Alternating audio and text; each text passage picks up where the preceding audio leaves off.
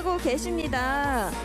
뭐 정말 여자친구 하면 파워풀한 무대 그러면서도 청순함을 뽐내기로 상당히 유명한 분들인데요.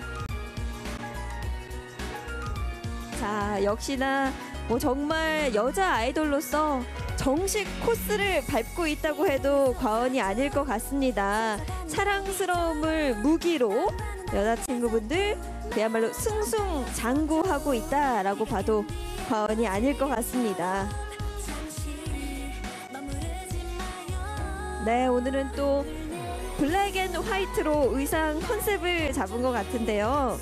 역시나 귀엽고 또 아름다운 모습입니다. 네. 여자친구분들 사진 촬영은 여기까지 하도록 하겠고요. 곧바로 모시고 네, 인터뷰 진행해 보도록 하겠습니다.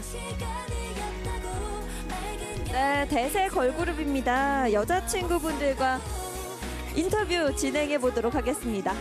안녕하세요. 네, 안녕하세요. 어서 오세요. 네. 네. 네, 여자친구분들 9월에 여름비를 발매하고 3개월이 지났습니다. 그동안 좀 어떻게 지내셨는지도 듣고 싶어요. 저희가 너무 어, 행복하게도 1월에 단독 콘서트를 처음으로 하게 됐어요. 그래서 콘서트를 열심히 준비하고 있으니까 많이 기대해 주셨으면 좋겠습니다. 네, 그리고 오늘 상당히 스페셜한 무대를 준비하고 있다고 들었거든요. 어떤 무대인지 살짝 힌트를 들을 수 있을까요? 어, 저희가 특별한 소품을 준비해서 또 멋있는 무대를 준비했으니까요. 어, 여자친구의 퍼포먼스 많이 기대해 주셨으면 좋겠습니다. 네, 여자친구 그리고 많은 분들이 컴백 소식도 기다리고 계실 것 같은데요. 언제쯤 그 소식도 들을 수 있을까요? 어, 저희도 너무 하루빨리 컴백하고 싶은데 우선 콘서트 열심히 준비하도록 하겠습니다. 네, 알겠습니다. 오늘도 정말 멋지고 예쁜 무대 기대하겠습니다.